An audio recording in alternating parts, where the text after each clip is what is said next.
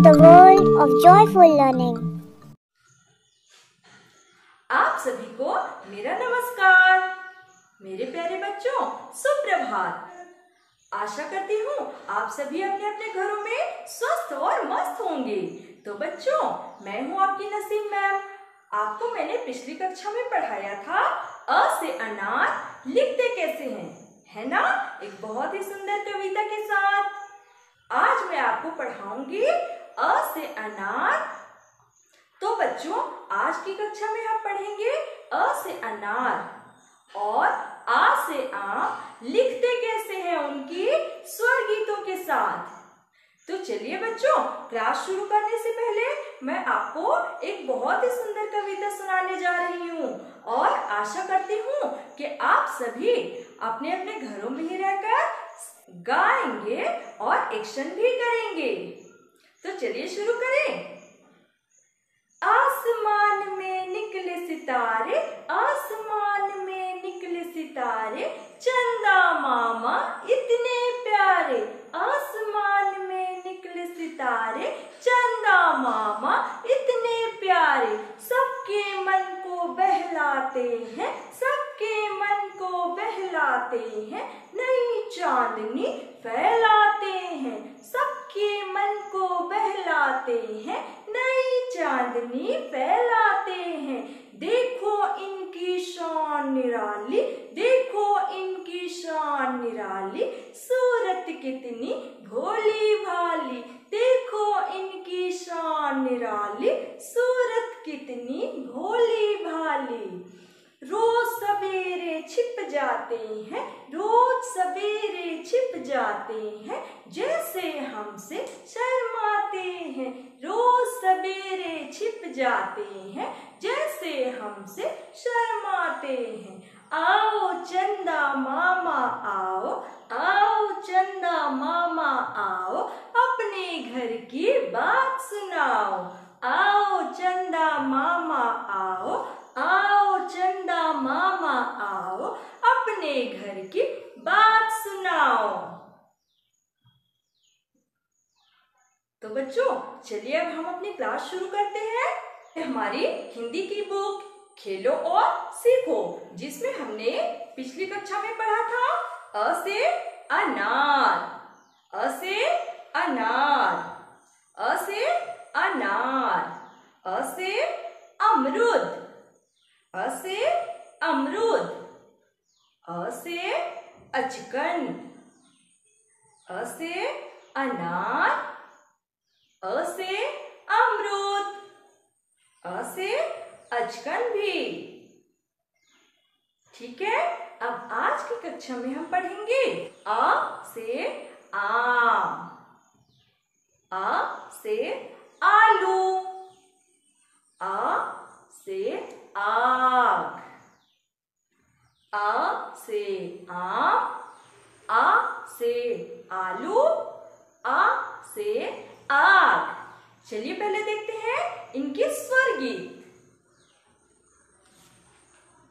अ से अनार अ से अनार खाकर इसको बने होशियार आ से आम आ से आम मिलकर बोलो आ से आम आ से आम फलों का राजा आ से आम फलों का राजा कितना सुंदर कितना ताज़ा आसे आम फलों का राजा, कितना सुंदर, कितना ताज़ा। तो बच्चों, पिछली कक्षा में हमने पढ़ा था, अ से अनार लिखते कैसे हैं? तो चलिए एक बार फिर से उसको दोहराते हैं, और आज मैं आपको सिखाऊँगी आ से आम लिखना। ठीक है? तो देखिए बोर्ड की तरफ़, मैंने आपको बताया था अ से अनार लिखने के कुछ स्टेप तो पहला स्टेप है एक कर्व दूसरे स्टेप में आप बनाएँगे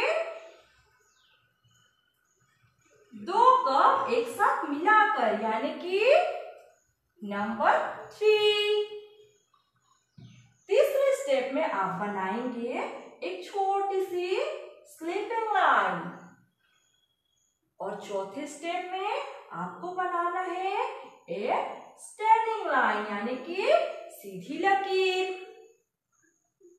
अब मैं आपको दिखाती हूँ कि इन सबसे मिलकर अ से अनार बना कैसे। तो देखिए, पहले मैंने इस स्टेप को फॉलो किया।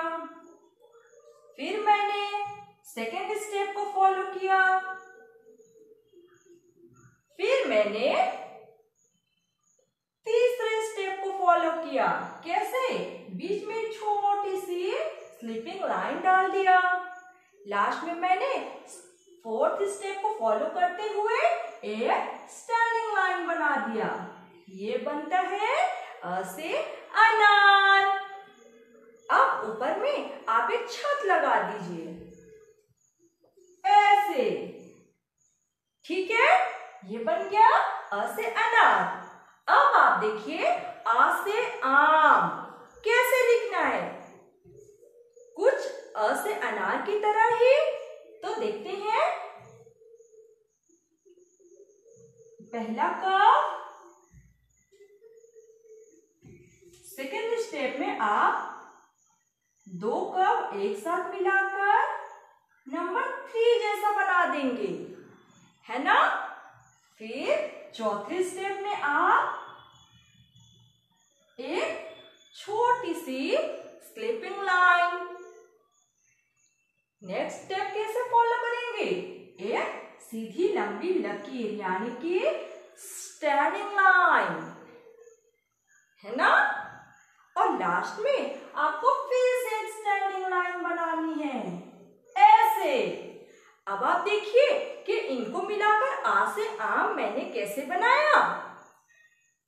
तो मैंने सबसे पहले इस स्टेप को लिया। तो ये बन गया एक कप दूसरे स्टेप को फॉलो करते हुए मैंने क्या बनाया? नीचे में एक और कप ये बन गया नंबर तीन। थर्ड स्टेप में मैंने लिया एक छोटा सा स्लीपिंग लाइन जैसे कि ये चौथे स्टेप को फॉलो करते हुए मैंने एक सीधी लंबी लकीर, यानी कि स्टैंडिंग लाइन बनाया। और नेक्स्ट स्टेप में मैंने एक और स्टैंडिंग लाइन बनाया, ये वाला। बन गया आ से आम। ऊपर में एक छोटा सा छत लगाना मत भूलिएगा, ठीक है? जैसे कि ओके तो बच्चों आप अपने घर पर ही रहकर अ से अनार और आ से आम लिखने का अभ्यास करेंगे। कैसे?